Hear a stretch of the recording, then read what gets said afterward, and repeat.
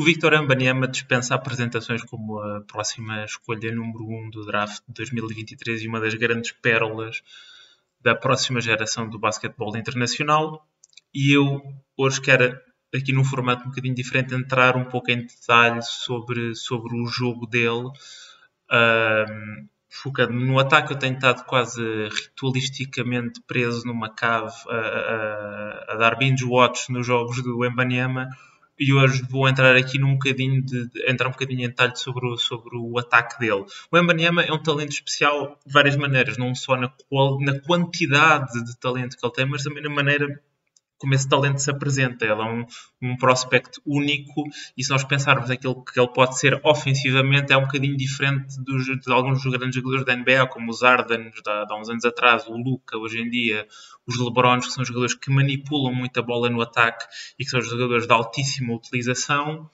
Uh, e que têm, têm sempre a bola na mão e que convertem com eficiência, o Embanyama tem muito potencial para criar de várias maneiras, seja debaixo do poste, a partir do topo, uh, no, no posto intermédio, mas aquilo que o torna se calhar um bocadinho diferente e especial é ele como um jogador eh, interior pode alternar entre alguém com bola e alguém num papel mais longe da bola. E é, hoje eu vou, queria focar-me aqui nos, nos clipes do jogo dele, uh, dos jogos dele, sobre como é que ele pode oferecer valor ofensivamente jogando longe uh, da bola, mais como um play finisher, mais como um jogador de baixa, média utilização uh, e alta uh, eficiência, porque ele tem muito dessas coisas que são, uh, que são importantes para ser um jogador, um jogador muito útil longe da bola, tiro exterior, disponibilidade física e talento físico, tanto em termos do, do, do, seu tamanho como da sua agilidade, este-oeste e norte-sul. é um jogador que, que, tem capacidade de passe, e já vou, já vou entrar um bocadinho uh, sobre isso também em detalhe, em situações em que a defesa já está inclinada, em que a defesa já está, uh, já está desequilibrada. Um, e é um jogador esperto, é um jogador que consegue ler a defesa uh, e os desequilíbrios da defesa e que espaços ocupar, seja no meio campo ofensivo, seja em semi-transição, seja em transição. E falando em transição, vou já aqui olhar diretamente para um clipe dele em a transição, uma jogada muito simples só para começar, em que a defesa recebe o ressalto, o Tremont Waters pega, pega na bola e carrega em transição, o Embanyama vai ver que o jogador aqui vai pegar na bola e que tem basicamente uma linha quase direta até ao cesto, vai preencher a linha de passe e vai chegar, mete um drible e afunda. Vou só meter a jogada do início outra vez. O jogador pega, pega, pega aqui mais ou menos no, no, no Waters, ele aqui já nesta altura fica assim um bocadinho está de virar. O Embanyama corta em velocidade, recebe a bola uh, e, e, e, afunda. E ele é de facto um jogador que tem esta disponibilidade para, para especialmente se não for ele a, a ressaltar, um, para sair, e ele é muito rápido a correr, uh, tem boa aceleração e tem capacidade de, de, de ser ele o portador ali em, em situações curtas. É, é, um jogador que tem muito talento para, para levar a bola em transição e semi-transição, ou para ser um fator em transição. Depois aqui um lance mais de preenchimento de espaços e de cortar uh, e de, de, ler a defesa. Isto é um lance ainda também ainda mais ou menos em subtração em que o, o Water traz a bola, carrega a bola. Aqui parece que vai existir uma, uma ligeira ação. O Embanyama, a ideia que dá é que vai aqui fazer o, o, o bloqueio para o Waters aproveitar que a defesa ainda está um bocadinho descompensada, como vocês podem ver, não existe ninguém no garrafão. O Embanyama dá assim uma ligeira ideia de que vai fazer o bloqueio e este é o momento em que eu frisei, é o momento exato em que ele faz ali uma finta de corpo e em vez de se dirigir para o bloqueio, vai cortar nas costas do seu homem porque ele vê que não existe ninguém aqui. Vou cortar, vou atacar um garrafão completamente vazio, vai receber o passe e afunda com bastante facilidade. E ele tem muita facilidade para transformar em afundanças, coisas que se calhar para comuns mortais eram layups, porque ele, porque ele é, tem mais de 2,20m, tem uma envergadura uh, fora do comum e é um jogador que, não sendo super explosivo verticalmente, tem boa explosão suficiente. Quer dizer, não se precisa ter tanta quando se é tão alto e tão, e tão, tão longo. E vou só meter a jogada do início outra vez, porque esta é das minhas das minhas eh, jogadas preferidas dele sem bola, porque existe aqui uma, uma espécie de sugestão do bloqueio e ele congela a defesa no microsegundo.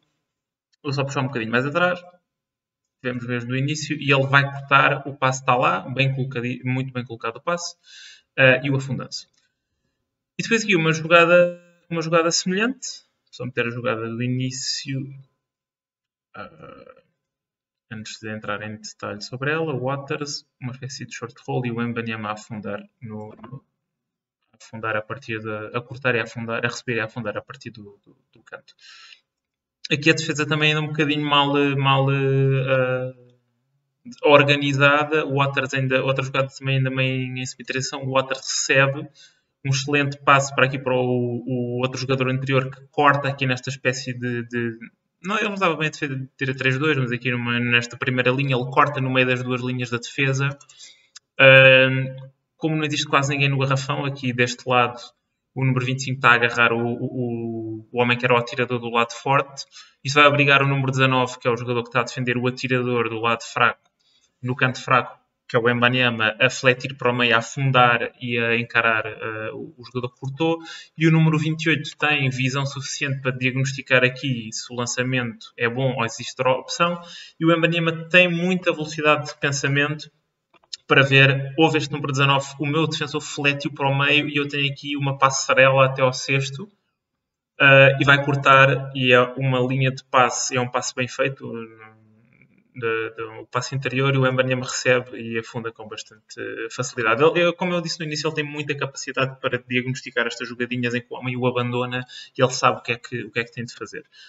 Vou só meter a jogada do início ao fim outra vez.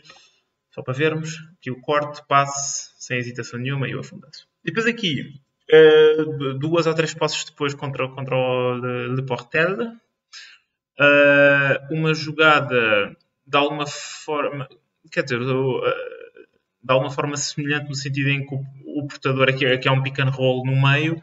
O número 28, que foi o homem que faz assistência para o Embanyama, é o homem que faz o bloqueio e corta. A defesa aqui do lado forte parece estar um, aqui um bocadinho entre desorganizada ou à espera que exista aqui uma ação em que um homem faça um bloqueio para o outro e então está demasiado descompensada no sentido de que não dá apoio ao meio. Uh, existe um, um, o, passo para, para o Rim Runner, o número 28, que foi o homem que fez a assistência. Antes, agora tem aqui dois homens.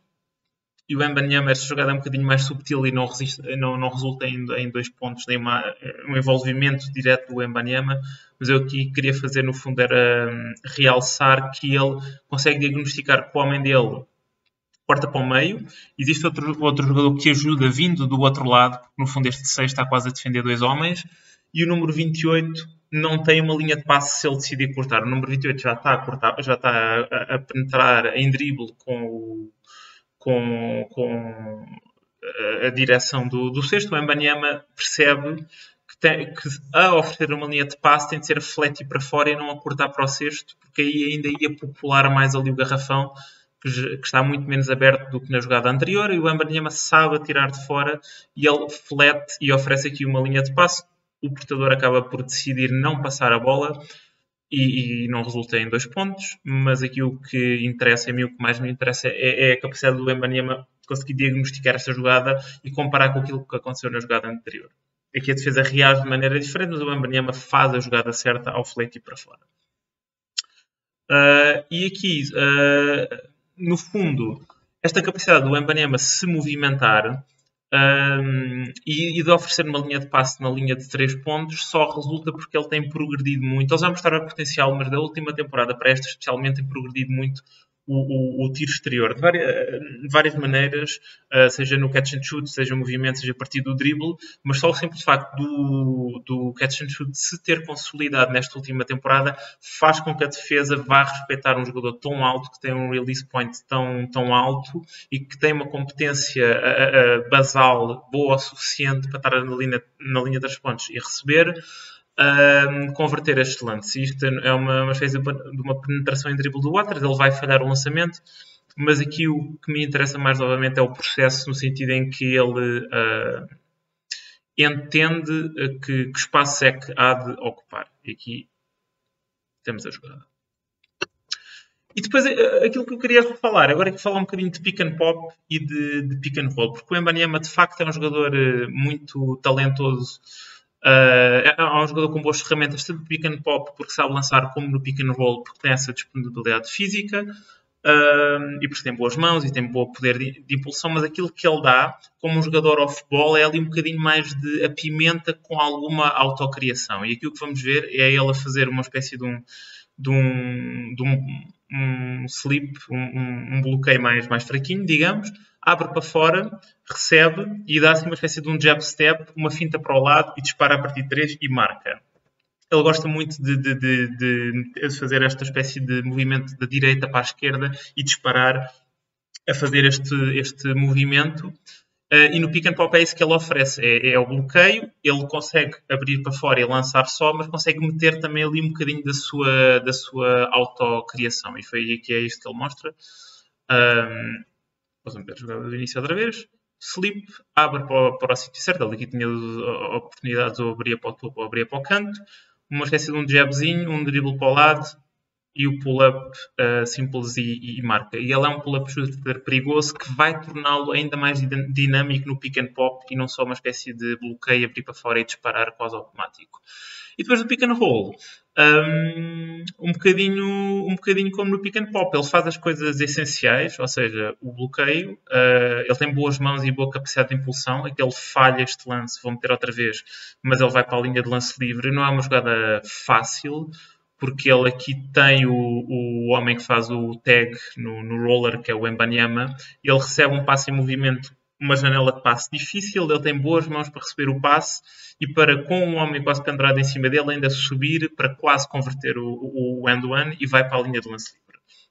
E, portanto, eu acho que, que ele, puramente como um, um, um rim runner no pick and roll, vai ser um bom jogador porque ele tem boa agilidade, ele é bom a mover-se norte-sul e, e este-oeste também, ele é muito alto, ele tem bom poder de impulsão e, portanto, é, ele preenche quase os requisitos todos ao passar aqui a jogada do início ao fim. Eu se puder fazer aqui se calhar um reparo de uma coisa que, que vamos poder ver aqui e que ele de facto neste não é bom, é ele como é um jogador pouco largo, um jogador com uma base não tão forte, não é muito bom a fazer o bloqueio em si. A maior parte dos bloqueios que ele faz são, são chamados slips, e que ele não faz sequer contacto com, com o homem uh, que é o defensor do portador da bola, e nós vamos ver aqui que a defesa vai fazer uma espécie de um, de um soft edge Mas ele não faz bem contacto direto com, com, o defensor do portador. O que ele faz bem é desbloqueia com muita agilidade e isso às vezes apanha a defesa um, desprevenida. É que a defesa faz um soft edge, mas, mas quando já, o, o homem dele já está a recuperar, o Embanyama já rolou. Um, é uma coisa que se calhar não vai resultar, uh, quer dizer, se, se sempre este, uh, o método de bloqueio dele na NBA uh, ah, não vai resultar tão facilmente como resulta em França, Mas é uma coisa que ele neste momento faz bem e é uma coisa que está relacionada com uma característica física dele que não é tão boa, que é o facto de ele ser um jogador mais franzino, um bocadinho mais, não muito largo, com umas pernas não muito fortes. Um, e depois, só para terminar, aquilo que ela oferece como passador no, no, no pick and roll.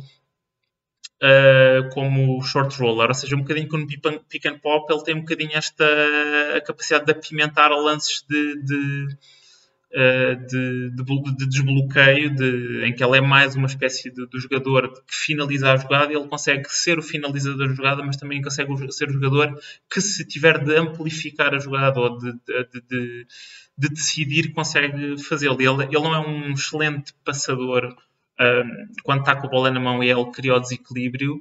Uh, e, e, tem alguma dificuldade às vezes a, a, a ler a defesa e faz passos assim um bocadinho óbvios, mas ela é um bom passador interior. E nós vamos ter aqui duas ações. Vou só meter agora do início ao fim um, um pequeno prep. O Embanyama recebe uh, no, na posição certa e passa para o jogador em quarto. Vou só meter outra vez. Do início, aqui o slip. Uh, o Gubesson recebe aqui um trap não muito agressivo, mas o Embanyama consegue uh, manter contacto visual com o portador oferecer a linha de passe ao ir para o sítio que está aberto. E depois aqui a defesa tem devido ao lado fraco, vê um gigante a dirigir-se em relação a sexto e o Embanyama consegue encarar, diagnosticar e fazer o passe que faz sentido. Ele aqui eh, tem o homem no lado forte, mas quando já está a virar é difícil e encontra o, o, o, passo certo, que é o jogador a vir do lado fraco e cortar na linha de fundo. E, e, aqui uma boa ação também do número 35, a jogar a partir da ação do, do Besson no início no pick and roll e depois do Embanyama. uh, no rolo. E depois aqui outro lance, também interessante, vou meter do início, vou meter do início ao fim. Aqui vai resultar num passo para o Nacar Spot. E mais dois pontos. Aqui mais uma vez o slip a nível do bloqueio, como já vos falei, o passe é, é, é bem feito e o Embanyama aqui uh, uh, demora um bocadinho mais a processar, porque ele aqui tem o passe difícil para o. A, a, defesa está muito em cima dele, porque ele tem muita gravidade no rolo, por ser um jogador tão habilidoso e tão alto.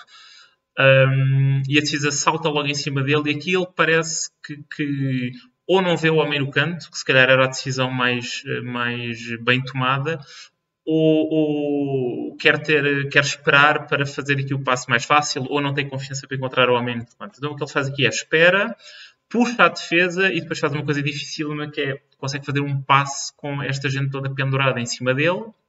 Ele tem ali um microsegundo de paciência, puxa a defesa, encontra o homem e está ali.